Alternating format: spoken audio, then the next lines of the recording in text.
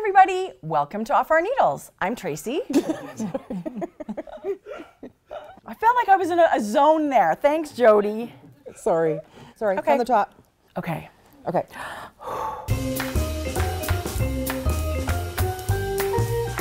Hi, everybody. Welcome to Off Our Needles. I'm Jodi. And I'm Tracie, and we are the Grocery Girls. We are, and this is episode 24. It's about knitting, love story, projects that you never want to end. Absolutely. Some of them are so much fun, and you love working on them so much for whatever reason that you just never want that knitting to come to an end. But eventually, it all has to come to an end, just like this show.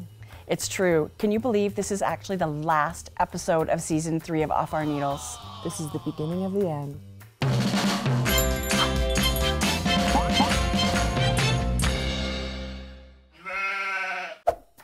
What was a project that you love knitting so much that you never wanted it to end? Oh, see, this is difficult for me. I mean, I've had so many projects that I love to knit. Yeah.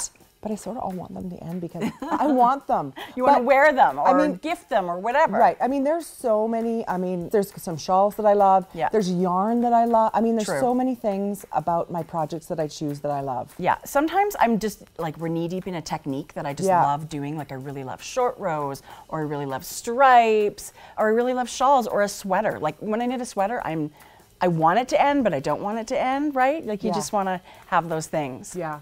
Because a yarn for me can make or break your project. So, Yeah. I mean, most times you pick yarn that you really like, but then sometimes you start working with it and it's like, this yarn was made for this project and it was just like the perfect combination. And it's like pleasure. Every stitch is a pleasure. I totally get it. We would love to hear your guys' knitting love stories. If you could leave us a comment down below, that would be awesome. We would love to hear that.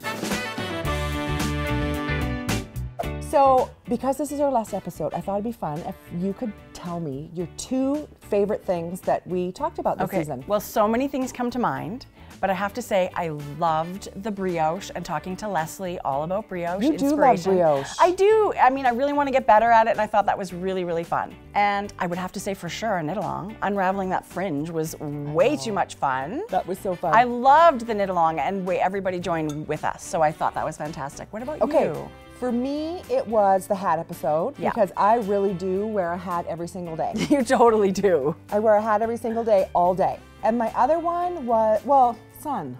Oh, I I mean, how fun is it to have? I mean, she's a knitting friend. She's Yes. not just a colleague. Yes. Um, and it's always so fun It's to have so- somebody in in studio. I agree. Yeah. And she was so great with that superwash yarn. That was amazing. She's Marty Pants. Yeah. In knitting, binding off is the ultimate ending of a project. Did you know there's like so many different ways to bind off? I did know there's so many ways to bind off. Although, you know, I have to say, I sort of stick in my wheelhouse. Yeah. I have two or three, actually, maybe just one or two that I use all the time. What's your it- fave? Just the classic, you know, bind off. Right.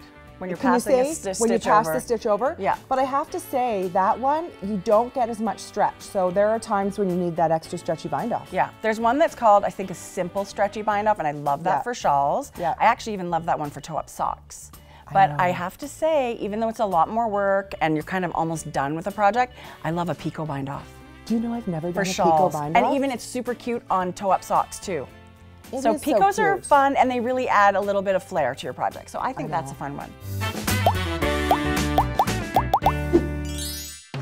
So Craftsy has a couple of classes. He, they've got 40 ways to cast on and bind off, and they also have more ways to cast on and bind off. I love that. I think I'm gonna have to check that I out. I know. Uh, and there's also a link down in the description box for a free trial Craftsy membership. Where you can check out these classes. That would be amazing.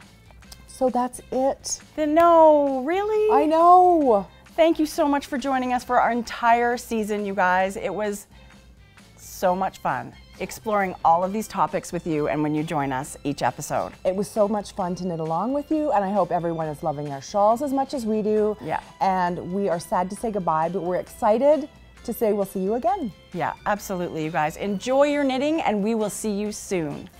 Bye.